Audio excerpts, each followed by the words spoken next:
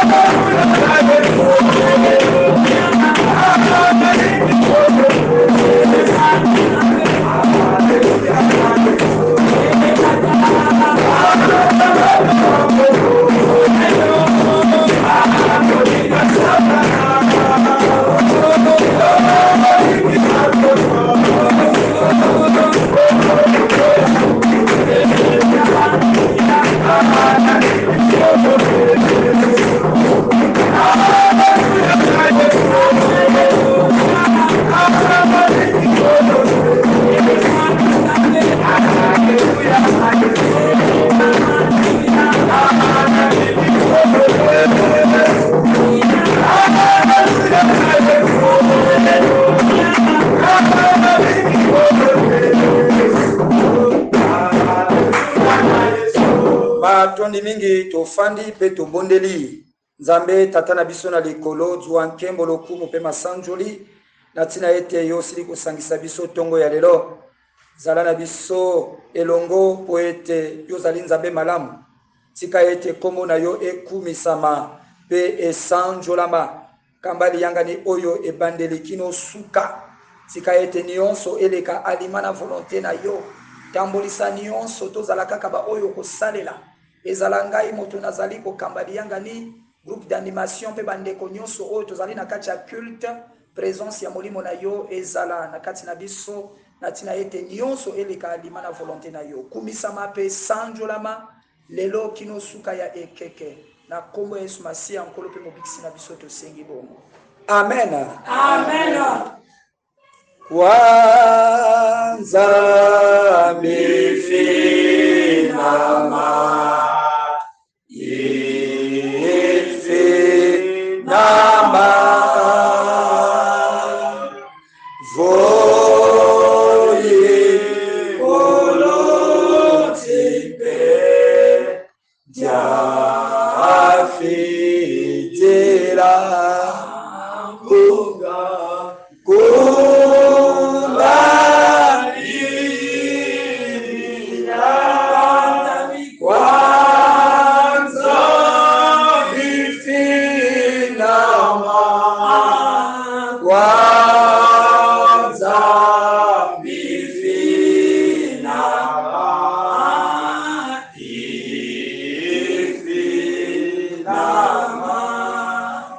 liloba na nzambe elobi boye ndenge nzambe alingi ete tosalela ye si nous disons que nous n'avons pas de péché nous nous trompons nous-mêmes et la vérité n'est pas en nous si nous reconnaissons nos péchés il est fidèle et juste pour nous les pardonner et pour nous purifier de tout mal. Si nous disons que nous n'avons pas péché, nous faisons de Dieu un menteur et sa parole n'est pas en nous. Amen. Amen. Na liloba oyo tosili kotanga batata na bamama Esengeli moto na moto amitala, elingi kolakisa ete moto moko te akoki kozwa courage to akoki kokanisa ete azali ya kokoka liboso na Nzambe. Wala pourquoi moto na moto akozwa minute mpo na komitala na motema na ye, kotala esika Ye asili kokweya liboso na Nzambe.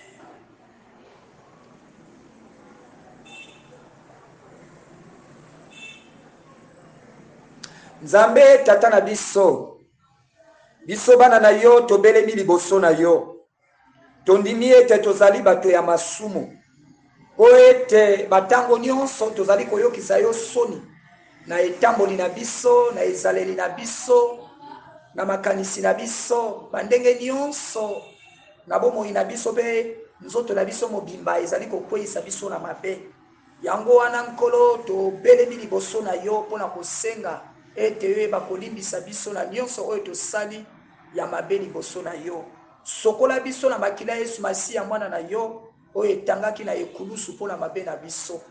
Petola biso, sala ete tozala mpenza ya kopetolama, ndenge Dawidi asengaki yango, tozala pembe lokola neige. Biso mpe tolingi kozala ndenge wana mpo ete tozala bana na yo ya solo.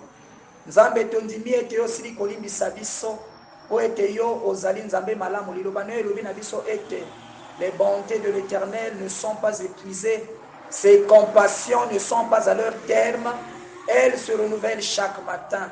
Biso tondimi ete, Nkolo, Yo osili kolakisa bolamu na Yo na biso, mpe osili kolimbisa biso mabe na biso. Nkombo na Yo ekumisama mpe esanjolama, na Nkombo ya Yesu Masiya, Nkolo mpe Mobikisi na biso.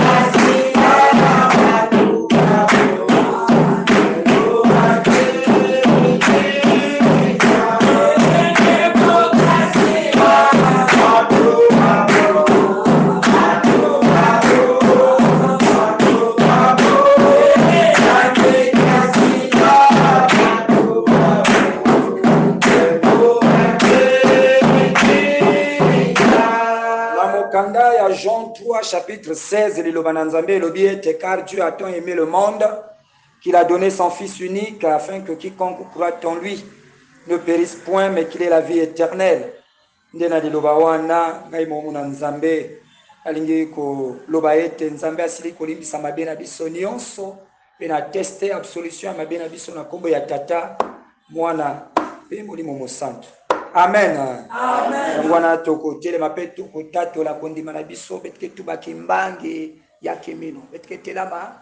Meni zali milungu zambi ya kungu. Ni tata lya tulelyo twa twa soni. Ni yandi wa ilika zulu na ntoto. Meni saki minungu Yesu Kristo. Ni mwana moshi wa Nzambe.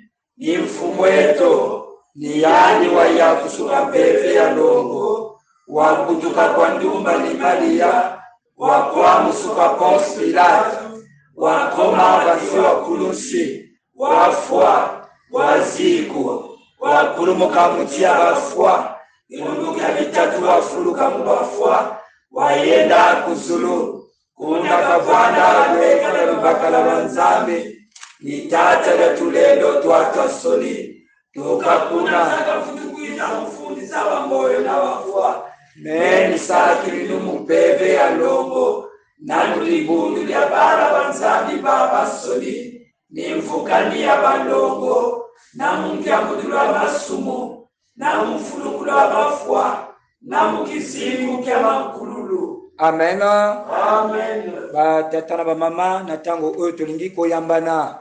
Liloba na Nzambe na Romains chapitre 15 verset 7 elobi Accueillez-vous donc les uns les autres comme Christ vous a accueilli pour la gloire de Dieu.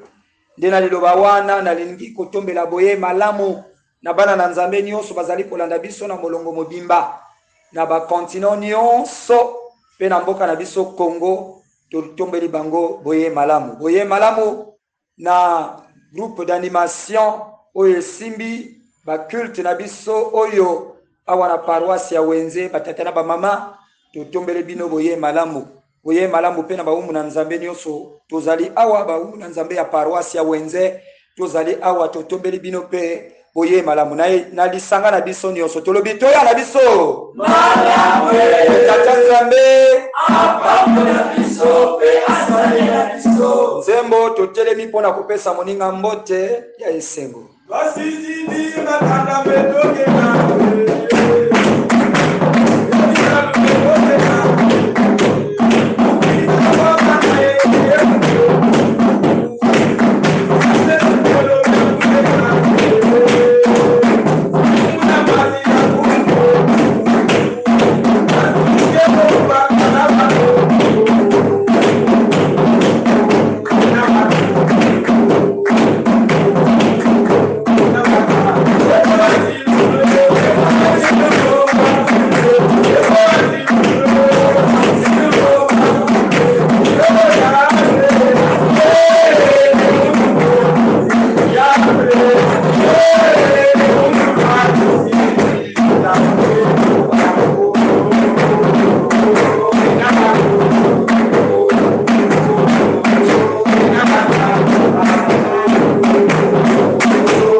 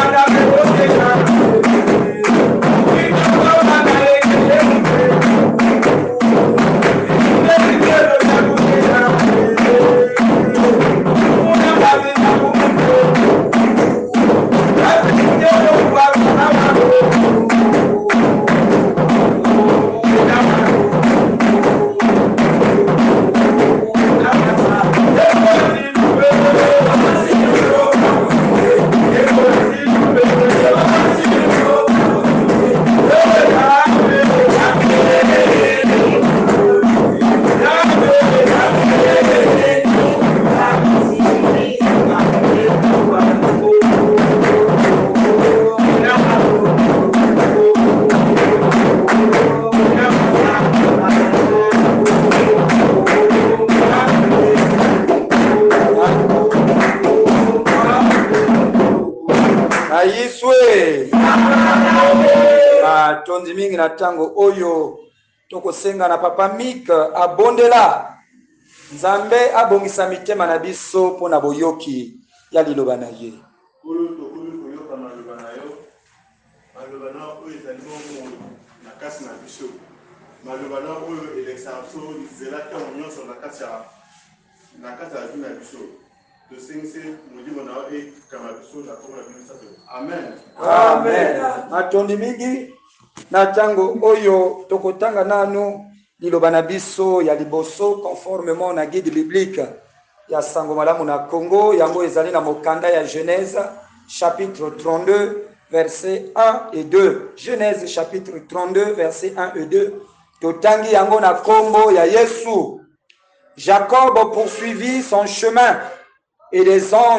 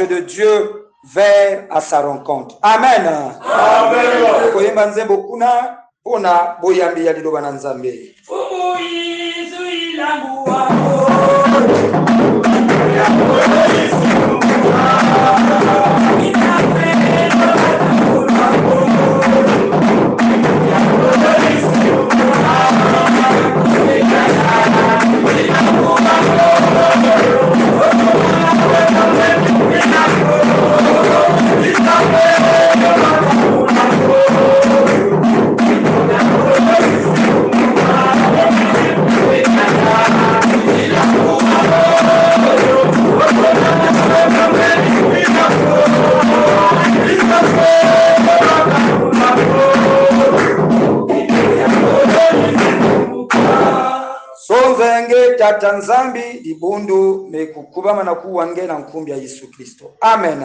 Amen. Jean chapitre 21, verset 1 à 7.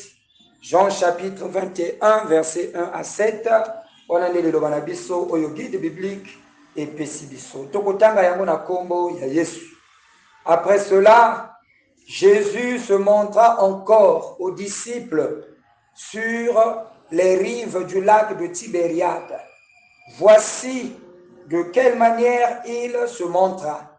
Simon-Pierre, Thomas, appelé Didyme, Nathanaël, qui venait de Cana en Galilée, les fils de Zébédée et deux autres disciples de Jésus se trouvaient ensemble. Simon-Pierre leur dit, je vais pêcher. Ils lui dirent, nous allons aussi avec toi. Ils sortirent et montèrent aussitôt dans une barque. Mais cette nuit-là, ils ne prirent rien. Le matin venu, Jésus se trouva sur le rivage, mais les disciples ne savaient pas que c'était lui. Il leur dit, les enfants, n'avez-vous rien à manger Ils lui répondirent, non. Il leur dit, jetez le filet du côté droit de la barque et vous trouverez. Ils le jetèrent donc et ils ne parvient, parvinrent plus à le retirer, tant il y avait de poissons. Alors les disciples que Jésus aimait, le disciple que Jésus aimait, Simon-Pierre, remit son vêtement et sa ceinture, car il s'était déshabillé et se jeta dans le lac. Amen. Amen. Batata na bamama, mama ya likambo oyo tozali kosukisa mokolo ya lelo dimanche oyo ezalaki toteme na biso ya eyenga nyonso oyo ezali la rencontre avec le ressuscité la rencontre avec le ressuscité bokutani na mosekwi kubwabana na yesu yina fulukaka wana mama ya likambo na biso batata na bamama rencontre na ressuscité to bokutani na mosekwi ezali moko ya bateme Thème oyo penza ya makasi ba tata na ba mama na oyo etali bomoi ya Nkolo na biso Yesu Masiya oyo na sima ya kosekwa na ye, kosekwa na ye na lilita tango ye asilaki kosekwa.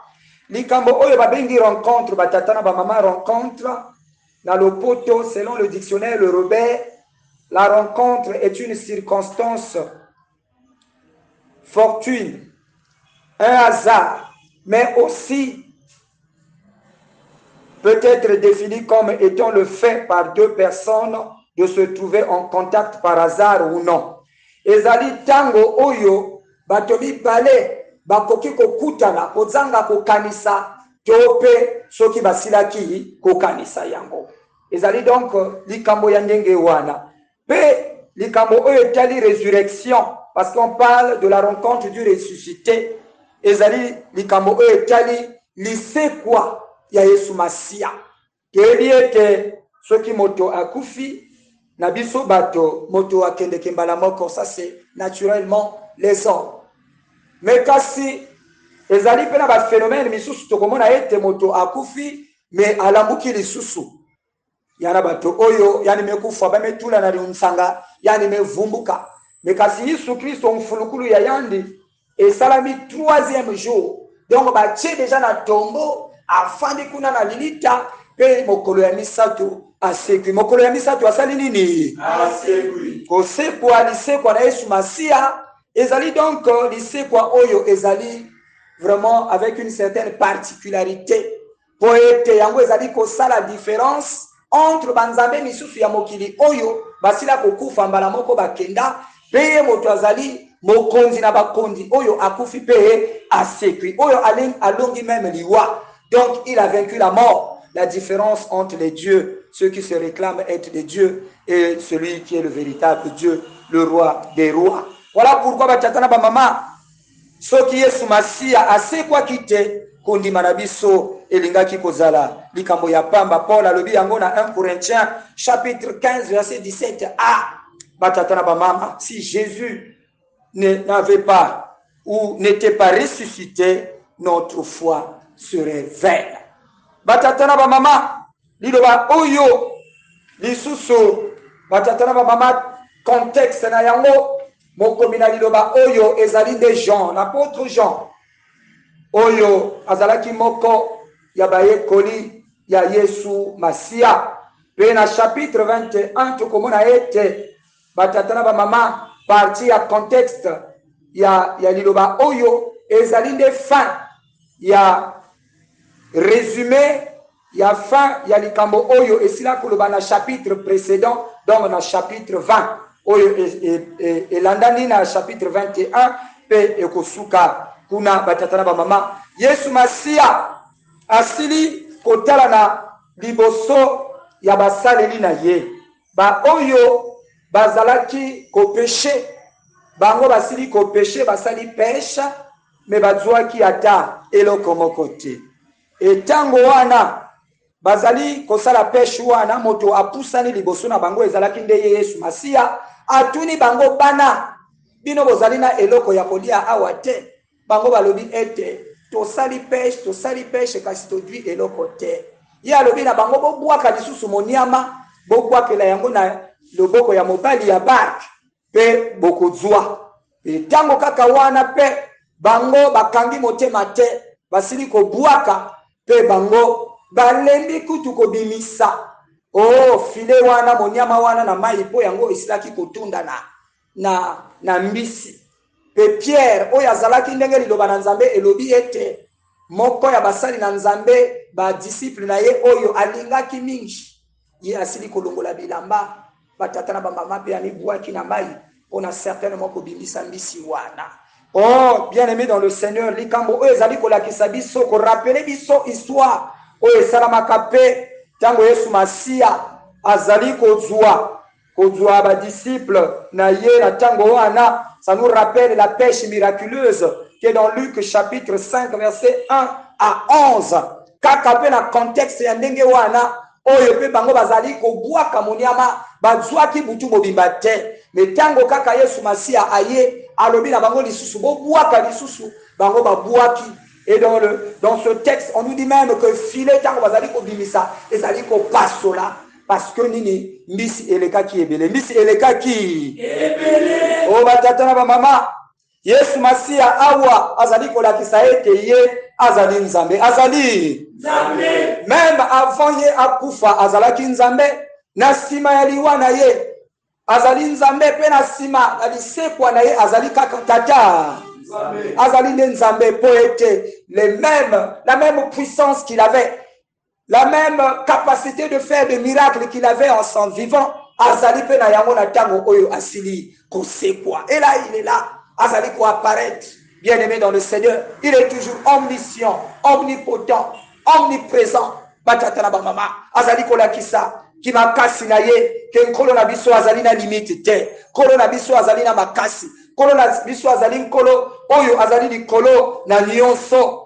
bandimi bazalaki kondima nanu te me pierre ape asilaki koyeba ete ezalaki ezalaki nkolo ezalaki nde yesu masiya azali kozwa kaka bilembo oyo preske azalaki kosalela na ntango elekaki soki tolandi mpe na mokanda na histoire ya cleopas na badisiple na, ba, na, ba na ye mibale oyo abimelaki na, na luke 24 na mikolo oyo eleki tokomona ete asalelaki elembo ya repas ya suka oyo bazalaki na yango asali mpe rupture ya lipa mpe apesi bango miso efongwami Awa mpe asaleli elembo oyo asalelaka liboso na basaleli na ye na Luk chapitre 5 verset 1 à 11, mpe tozali komona na kati na ye oyo etali peche miraculeuse, asaleli mpe elembo oyo asalelaka mpo na komema bango na koyeba ete ezali kaka ye, ezali kaka ye.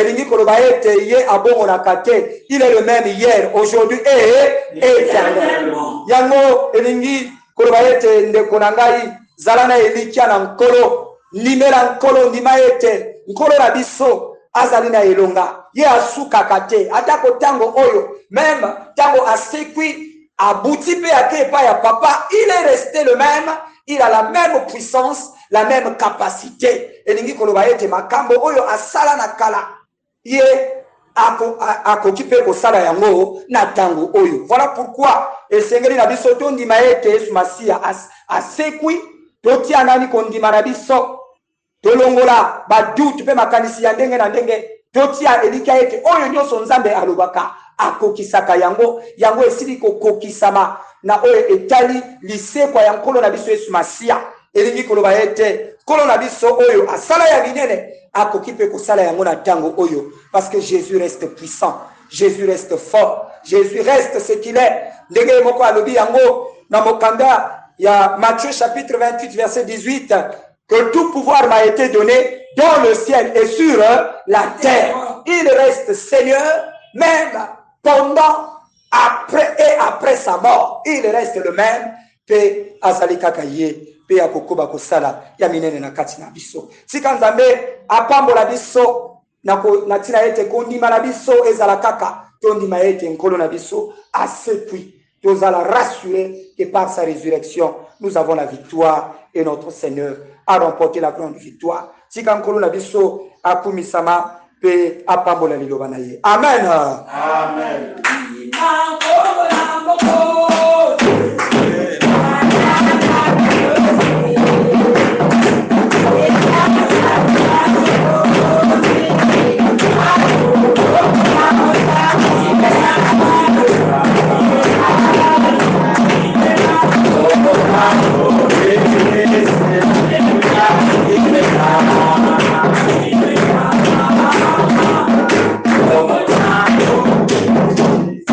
matondi mingi na ntango oyo tokosenga na mamalongi ma okolidi abondela na nsima ya liloba na nzambe oyo tosili kolanda nzambe tata na biso tozali kozongisa yo matondi matondi ya koleka mpo ete nkolo osili koyeba biso ndenge tozali kata mitema na biso Baya mingi, Nkolo, kino lelo tozali kondima ete teti yo ozali ya bomoi, Nkolo na biso Yesu, yo osekwa, yo ozali bomoi libela libela, yo okobongwana te.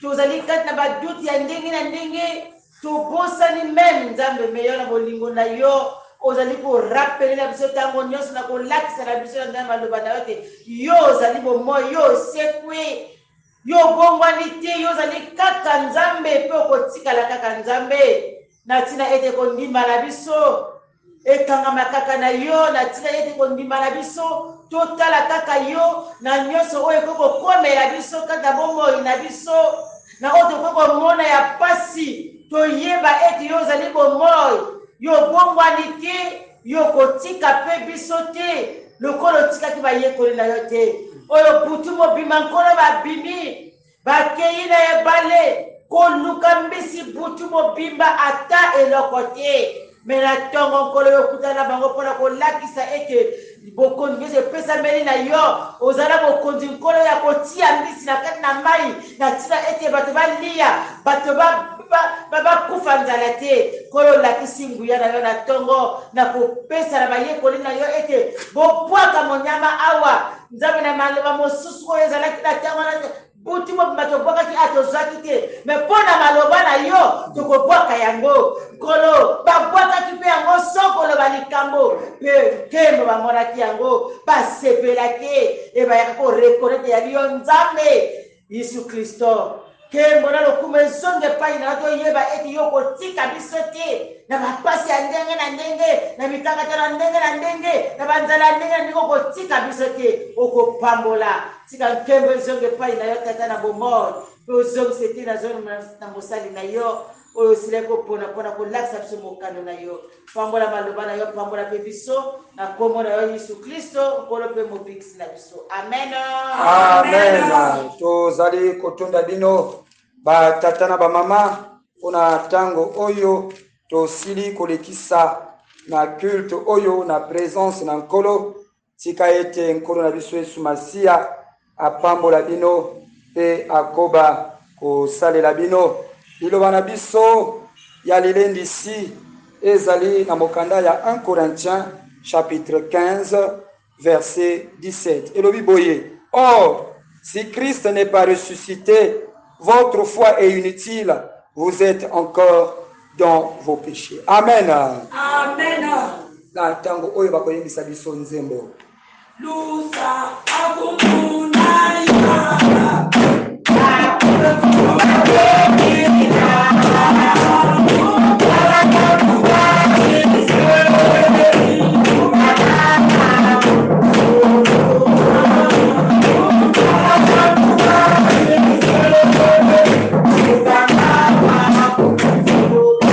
nzambe tata na biso na likolo totondi yo na ntango oyo na nyonso oyo osali na kati na biso liloba oyo etalisi biso ete nguya na yo ebongolamaka te Nguya oyo epesamala yo depuis kobotama na yo elandi yo kino liwa lisekwa na yo ti ntango oyo obutaki epai ya papa ngolu wana to nguya wana ezali kaka na yo voilà pourquoi tozali kopesa bana na yo nyonso na molongo mobimba baoyo bazali kolanda biso bazali na makambo ya ndenge na ndenge na maboko na yo Tika ete loboko na yo ya nguya mpe ya bikamwa esembolama ndenge yo osengaki na basaleli na yo babwaka moniama bana na yo mpe nzambe bazali na basituation ebele oyo ezali kotungisa bango oyo basili kobwaka lokola moniama bazali kozelaka biyano na yo tika ete nkolo bikamwa mpe emonana na bomoi na bango bayeba kotala monene na yo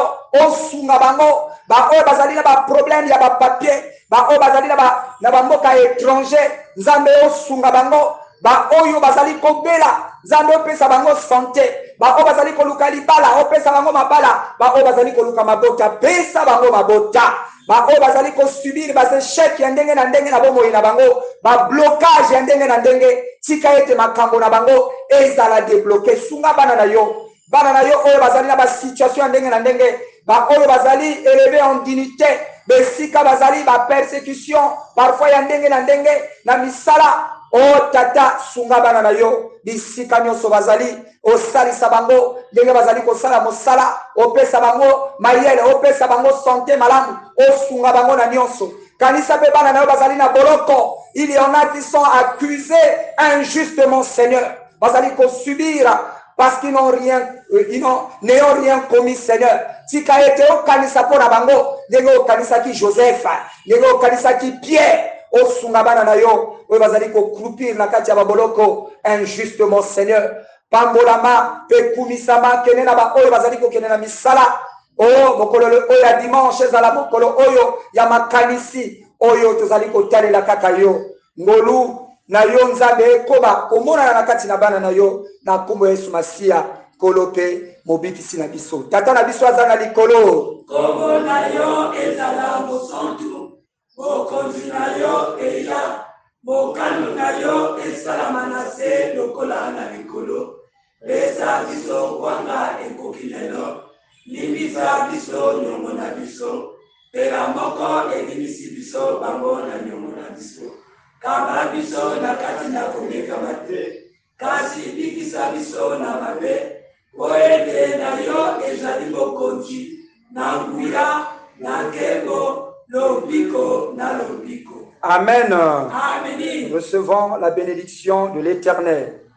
Que la paix de Dieu, qui surpasse toute intelligence, puisse garder vos cœurs et vos pensées en Jésus-Christ. Peuple de Dieu, allez dans la paix du Seigneur. Amen. Amen. Culte na